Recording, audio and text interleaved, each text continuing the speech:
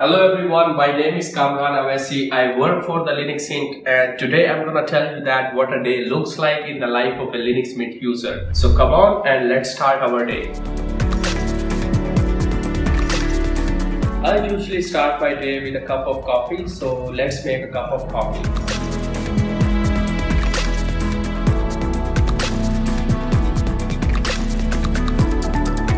Previously, I was a Windows user, so before joining the LinuxHint, I was not using the Linux-based operating system. So when I joined the LinuxHint and I was uh, appointed as an employee, so I was confused to choose about the Linux-based operating system that what Linux-based operating system should I choose? I read a couple of uh, reviews of people over the internet and they were stating that if you are a new Linux user, then Linux Mint is the best choice for you to get started with.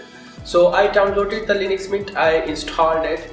Uh, it, it was pretty awesome. It was the very nice experience of using the Linux Mint because its uh, user interface is really awesome. It resembled with the Microsoft Windows user interface. If I talk about in terms of efficiency of the Linux Mint, it is so much efficient. It is powerful. You can easily run any command on the terminal. You can perform any operation you can write articles, you can record videos, and you can update your programs by using the terminal as well. We are working on the bash scripting as well. So I write my bash scripts on the Linux Mint. We can easily execute the bash scripts on the Linux Mint terminal. The terminal, most of the people say that the terminal is the scary part of the Linux Mint because you have to write a lot of commands, you have to write a lot of uh, words on the Linux Mint to perform your task. But once you are familiar with the terminal of the Linux Mint, you will find it very easy because it is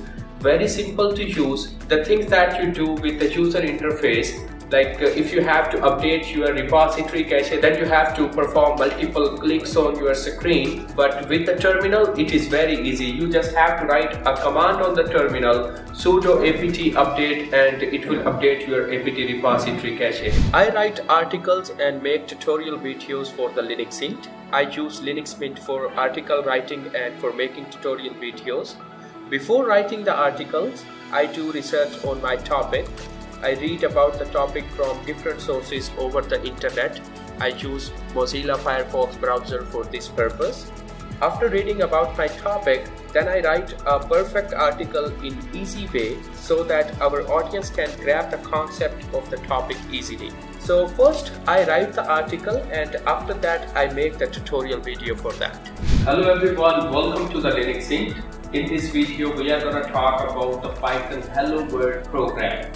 This video explains that how you can print the hello world in Python. I will cover the Python 2 and Python 3 syntax for printing the hello world on your Python console. So alright, this is my Linux Mint uh, Python 3 interactive shell. I have to print here the hello world. The syntax of the Python 3 is bit different with the syntax of the Python 2.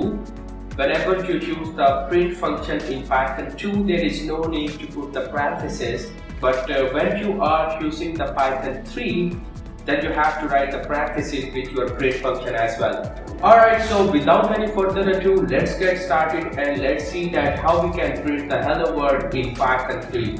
This is my Python interactive shell. I'm gonna write here my program print.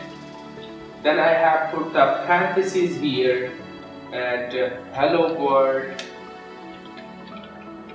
so that's it for this video. I hope you found this video useful. Keep visiting our website linuxhint.com for more useful videos like this. Thank you. So that was my whole day. Linux Mint helps me a lot to perform my personal task as well as the professional task.